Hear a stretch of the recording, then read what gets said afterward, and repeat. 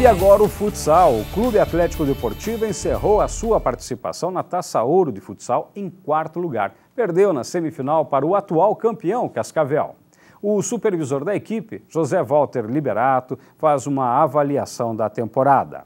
Das quatro competições que a equipe disputou no ano, né, nós chegamos a decidir três competições. Né, no caso da Liga Sul, chegamos ao vice-campeonato, na Taça Paraná também ao vice-campeonato. Na chave ouro chegamos na semifinal, perdendo apenas para o Cascavel, né, que foi o campeão paranaense. E na Taça Brasil, uma boa participação em termos de mostrar a cidade, mostrar os patrocinadores, mostrar uma nova equipe né, para o Brasil todo, através é, da Taça Brasil de clubes, onde todos os campeões se reuniram. Para ele, as lesões atrapalharam. Nós sofremos com as lesões, acho que o principal fator né, de todo o elenco, nós tivemos sempre cinco ou seis jogadores é, fora nas partidas. O Baiano não conseguiu neste ano manter duas, três partidas, duas bases né, consistentes para formar as equipes. A gente teve que utilizar muitas vezes jogadores novos, no caso até da equipe sub-17, isso atrapalhou bastante. E os jogadores lesionados, a grande parte deles faziam é, parte da base da equipe, da, de titulares, digamos assim. Então isso realmente influenciou muito o trabalho. Se nós tivéssemos a equipe completa em todos os jogos, onde tivesse jogadores, como eu falei, essenciais na formação da equipe, com certeza a sorte da equipe seria outra. Sobre o técnico baiano, ele diz o seguinte: Excelente. O baiano realmente tem a era, né?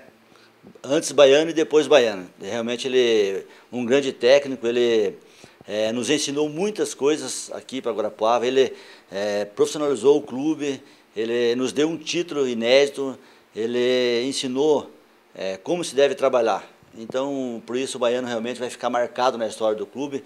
E a gente espera também, como ele mesmo disse, que é um até breve, né? Que a gente nunca pode dizer que as portas estão fechadas, ele sai daqui com as portas escancaradas e, e o clube é muito grato a ele por tudo que ele fez. A novidade foi o acerto com o agora ex-goleiro Brigadeiro, que assume como técnico. O Brigadeiro é um, um ídolo guarapavano.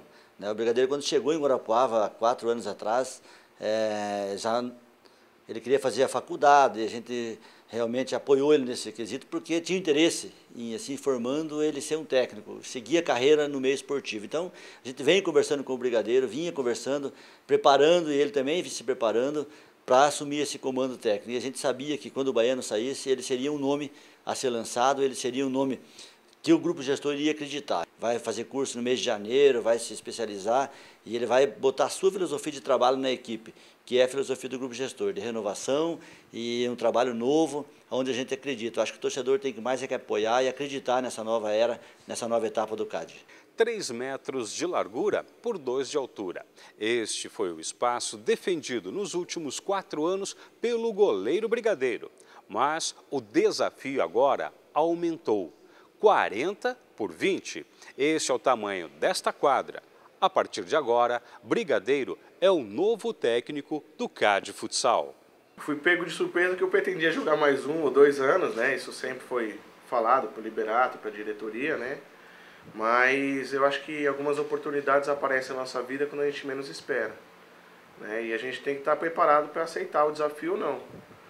Né? Então, acho que na sexta-feira, depois que o Liberato realmente definiu a situação dele do Baiano, ele já me ligou dentro de uma reunião que eles estavam com o grupo gestor me fazendo essa proposta, né? Então eu tive o final de semana para analisar, para sentar com minha esposa, com a minha família, para conversar sobre essa decisão, porque não é tão fácil você sentar aqui e simplesmente falar, eu vou parar de jogar e vou virar treinador, né? Estou com 34 anos e só de equipe adulta eu tenho 15 anos, né? Então é uma carreira muito grande. Mas eu acho que é um desafio importante na minha vida, é um um passo a mais que eu estou dando. E eu acho que se a gente trabalhar direitinho, as coisas têm tudo para fluírem numa normalidade. Brigadeiro garante que será só técnico. O meu contrato agora é só como treinador. Realmente eu tô. O Liberato me aposentou, né?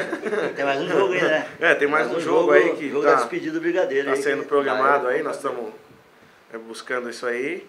Mas é você só treinador, nós já, já foram colocados nomes de goleiro também para serem contratados, né? E, mas a minha função agora é só trabalhar fora da, da linha ali, passando dor de cabeça ali também e ajudando a equipe ali de uma forma diferente. Como o goleiro aprendeu a observar o jogo? O goleiro aí, por ser sempre o último homem, né? ele consegue ter uma visão ampla de tudo que está acontecendo dentro da quadra.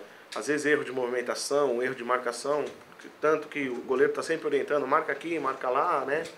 Então eu acho que essa visão, por ter sido um goleiro, vai me facilitar também para a gente de repente tentar enxergar o jogo como um todo, né? não individualizado.